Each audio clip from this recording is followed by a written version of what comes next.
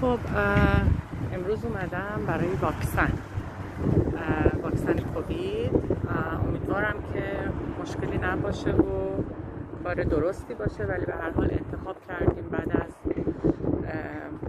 فکرهای طولانی که این کار رو انجام بدیم. البته هنوز اینجا خیلی محدودیت هست. یعنی هنوز همه واکسن نگرفتن و خیلی مسائل مختلف هم در موردش گفته میشه و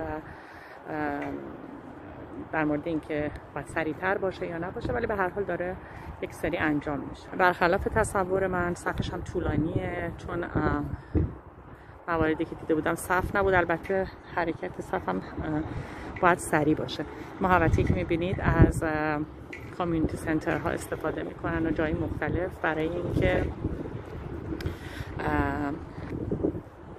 یک حالتی داره مثل سالن های کنکور که همه با فاصله میشینن و با فاصله واکسن میشه و یک رو باید بشینین و تا مطمئن بشید که هیچ اتفاق نمیفته حالا ببینید سعی می‌کنم که از داخل هم فیلم بگیرم اگر بشه.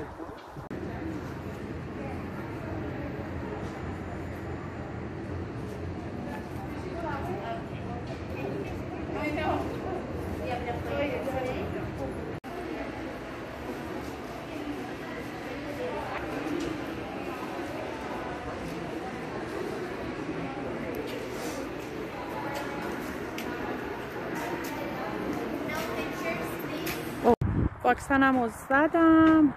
از در دیگه باید بیایم بیرون که اینجا خب یکم خلوتتر اون پشت می‌بینید در خروجیه یه که گفتم کامیونیتی سنتر یعنی اسپورت سنتر مرکز ورزشی و یه هوای خوب و باد خنکی. حالا که واکسن رو زدیم لاقل از فضای اینجا استفاده بکنیم. چرا که نه؟ خب اینم قسمتی از اونجایی که نشونتون بدم. یه خورده از کانادا رو ببینید همه جای این ساینا هست و واقعا مردم خیلی مراعات می‌کنن. یه ذره جلو بری بهت اختار میدن که خب حواست جمع کن زیاد خودمونی شدی. خلاصه بله همه چی مرتب و خیلی سریع صف حرکت کرد و تونستم که واکسنم رو بزنم و این مسکمه همیشه.